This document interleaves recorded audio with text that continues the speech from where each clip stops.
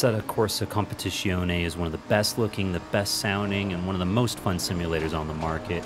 The question I have is how important is the CPU in running this simulator? Not just at single screens, but also triple screens.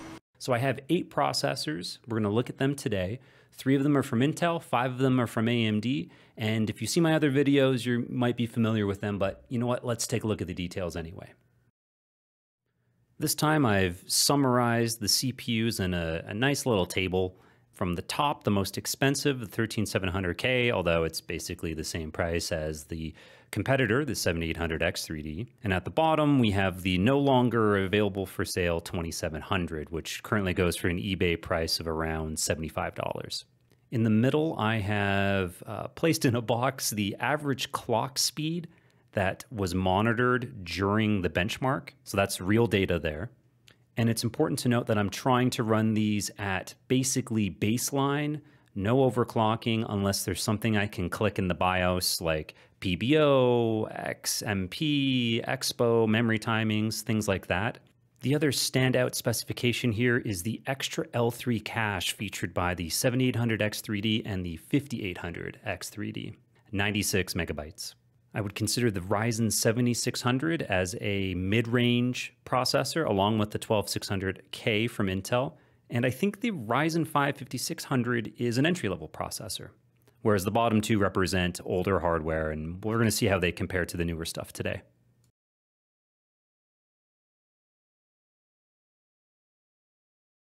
Just to get some more technical information out of the way, here are the other components that are being used today. Um, lots of detail here. I'm not going to go over it specifically, but I am using a DDR5 Intel 13th gen platform, and I'm using that same uh, Z790 board with the 12600K, just so you know. So at the top of the screen throughout this video, I'm just going to be looping the benchmark run that I picked. And in the bottom left, we're going to see the graphic quality settings that I also selected. I tried to find balance between the CPU and the GPU because I want this to be relevant to users and, and what you guys might be using. I enabled DLSS because I'm using a NVIDIA graphics card and I found it to produce the least amount of artifacts. We have a lot of medium quality graphics settings, however, I do have the mirrors at 150 meters and 60 FPS. I went with SPA for the track, and we're running about 20 human players and 10 AI in a total of a 30 car field. This benchmark run is just the first lap, and it is my point of view driving. This was actually the first multiplayer race that I did, so I was a little rusty, but it ended up being the best demo for replay and benchmarking, so we're just going to run with it. To introduce the benchmarks here, I went with the Ryzen 2700. We can see the resolutions on the left-hand side, single screens down to triple screens. And just to remind everybody of the resolutions, here's a quick summary of that with the pixel count for each frame being rendered. Okay, so right off the bat, what we see is a CPU bottleneck uh, with the single screen setup. It doesn't matter if we're running 1080p or 4K, this processor is delivering the same frames per second. When we look at the triple screens, we see that 1080p and 1440p Again, frame rate is the same, and there's a bit of a dip around 4K, but at this point it's unclear if that's related to the CPU or the GPU. So to try and figure that out, I'm going to show a second graph here with all the results, and that's the GPU busy ratio. If this is new to you, it's kind of a fun chart. For each bar, we're looking at the percentage of time that the GPU was busy to do work within each individual frame. So for example, at triple 1080p, if it takes 15 milliseconds to generate one frame, this chart suggests 51% of that time the GPU was doing work. So it was only busy for maybe 8 milliseconds. In contrast, at triple 4K, the GPU was working 90%, uh, 95% of the frame time. So it was busy for 14 milliseconds of the 15 milliseconds it took to generate that frame. So in the last chart, when we increased our resolution from 1080p to 4K, we didn't see a decrease in the frame rate because that extra load placed on the video card, there was overhead, there was capacity to take on that work. At triple 4K, we're seeing that nearly all of the capacity of the GPU is being used. As the bar approaches 100%, we are approaching maximum GPU capabilities. The lower the bar is, the more GPU headroom we have available. So we could increase the resolution or improve graphic settings without a decrease in FPS. I've also added Surround 1440p to the benchmark analysis. This is a NVIDIA technology that takes all three monitors that Windows would otherwise treat as three different screens, and the NVIDIA driver handles them as if they're one giant screen for rendering. There are some annoyances and glitches in trying to do so, but I've also detected some performance implications. We don't see it here with the Ryzen 2700, but if we remove a CPU bottleneck and throw in, say, a 13700K, we do see a difference between triple 1440p and surround 1440p. I was actually quite surprised to see this 10% difference and also notice look at the big change in the 0.2% lows.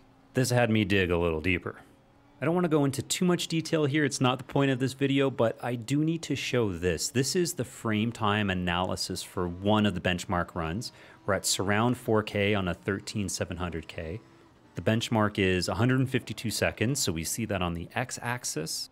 And on the y-axis, we have the frame time itself. So this represents how much time it took to render the frame during that second or instance of the benchmark. The blue squiggles are the overall frame time, and the yellow squiggle is the GPU busy frame time, I guess you could say. When using surround, we're seeing a 0% deviation from the GPU busy time, which means the video card and CPU are moving in synchronization, or you could also view that as a GPU limit. The only way to decrease the blue squiggles is to reduce the yellow squiggles. When we look at triple 4K, same scenario, uh, things are a little weird. When Windows and NVIDIA drivers handle the th three screens separately, we're seeing these spikes maybe they look like stutters in real time. I looked at the demo as it was playing. I, I didn't notice it at all. I didn't see any hiccups. It looked smooth to me. Regardless, this explains why the 0.2% lows are different and how that affects the overall average. Also note that the GPU busy time has changed with traditional triples as well. This suggests the GPU has to wait for the CPU to synchronize the simulator to the three independent screens when configured as such. When handled as a single resolution, we don't see that.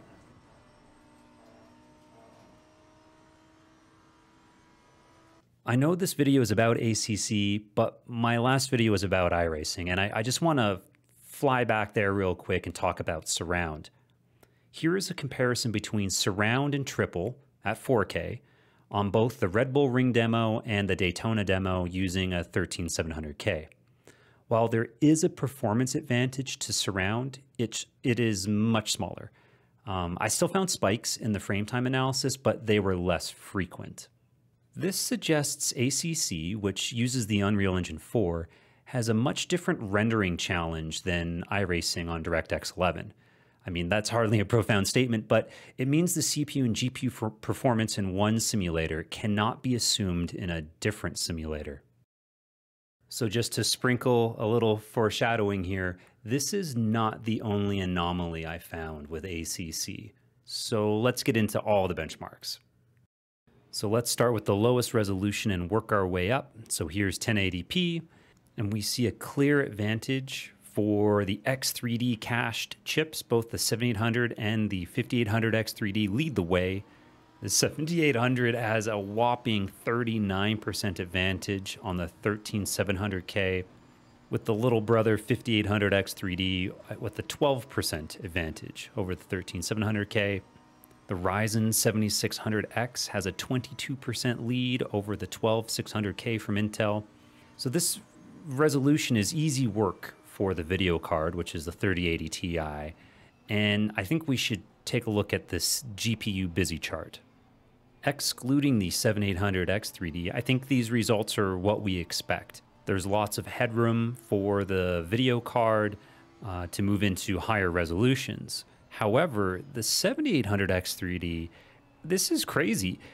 It's so quick, the 3080 Ti only has 9% headroom left at this lowest resolution. So, as we increase the simulator's resolution, this early result suggests the 7800X 3D is always going to be waiting on this video card. Looking at the results with a single 1440p screen now, there, there's no change in the order of the processors. The biggest change is actually with the 7800X 3D, where it had almost a 40% advantage over its closest competitor from Intel. We're seeing that reduced now to a about 30% advantage. The other performance gaps between the CPUs are mostly the same. If you're running a single 1440p screen, uh, even a Ryzen 5 5600 should be able to get the job done for you. Checking in with the GPU busy ratio, and we can see why the 7800X3D's lead has shrank. The 3080 Ti I'm using for these benchmarks has only a few percentage points of headroom left at just 1440p. The 5800X3Ds creeping up into the high 80 percentage, and both the 13700K from Intel and the Ryzen 7600X are still lagging behind in the 70s, with the uh, entry level processors a bit lower down. If we're going to increase the resolution to 4K, we know now for sure we're going to run into a GPU bottleneck. So first, let's look at the GPU busy time before we look at the FPS average. And sure enough, uh, yep. We're at 100% or 98% GPU utilized for the top four processors. I mean, this really establishes for Assetto Corsa at this uh, resolution with this benchmark, we're running right up against the limitations of the 3080 Ti. We see the mid-range 12600K and the entry 5600 now in the 80s. But we do see the two legacy chips uh, still being unable to push the video card to its limits. So when we look at the average FPS, we're expecting to see the chart flatten out a little bit. There shouldn't be any big leaders here. And yep, that's what we see here.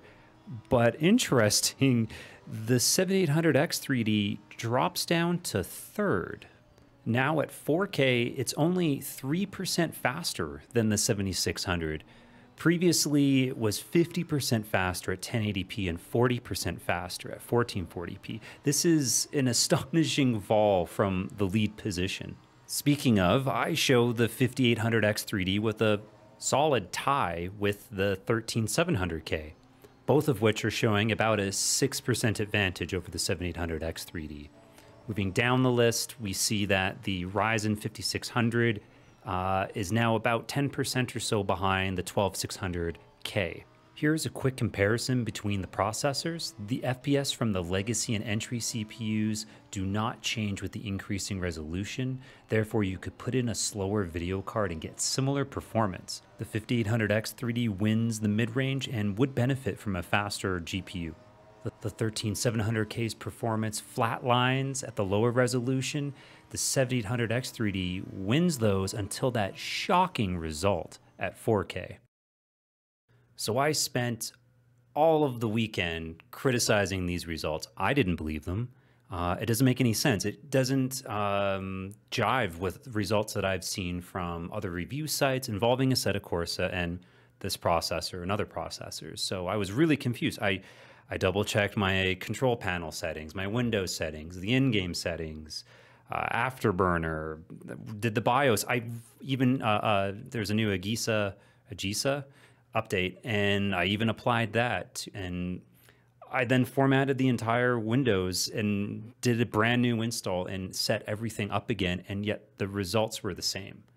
The 3D V cache in case of the 7800X 3D is not an advantage at 4K with this benchmark.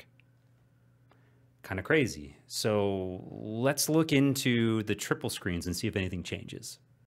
At triple 1080p, we basically see a tie again between the 13700K and the Ryzen 5800X 3D, We still see the 700X 3D in third, and the gap has increased a little bit between it and the 7600X. We notice the 12600K uh, seems to be doing decently too. So the, these results aren't too different. However, when you do look at the top four processors and their 0.2% lows, we actually see them lower than the 12600K and the 5600. So that's kind of strange. And I think it's worth looking at the GPU busy times now. The top four processors are knocking on the door of using all of the GPU's abilities at 96, 94, 95%. And the best results that came for the 0.2% lows were actually with the 12600K. And we see it uh, with a pretty sizable headroom here at uh, 80%, so 20% left on available to it. And the 5600 has 76%, so 24% headroom. So that made me curious to go back and look at that funky little squiggly line frame time chart that we showed earlier. Here's the frame time with the 12600K on the left and the 13700K on the right. We see that these spikes are occurring a lot less frequently with the 12600K, and they also appear to be shorter in height, so less of a delay these spikes represent those 0.2% lows. And this visual graph coincides with the 12600K having better uh, average 0.2% lows than that chart we were just looking at. So I know what you're thinking. Well, what does the 7800X 3D look like? Well, here are its first 40 seconds. And at a glance, it looks very similar to the 13600, sorry, 13700K graph However, notice that there are these little blue top hats on all the yellow spikes. I, am new to this kind of analysis, and I'm, I'm just trying to figure this out and share my results and, and get input from you guys. I'm looking forward to the comment section with this video.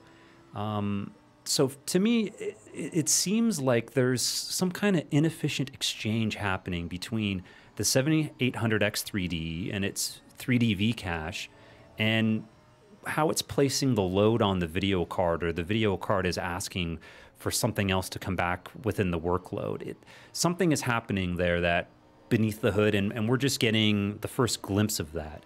Um, I, I, don't fully understand all the data behind these graphs and how CapFrameX is presenting them, but I do look forward to diving in a little deeper in future analysis. At triple 1440p, I suppose it's unsurprising at this point with this GPU limitation becoming a bigger and bigger issue that the overall average percentages are really flattening out here. Now between the 13700K, which is leading this chart, and the slowest of the modern processors, the 5600, that's only a 12% performance difference. So clearly we're bounded now by the GPU.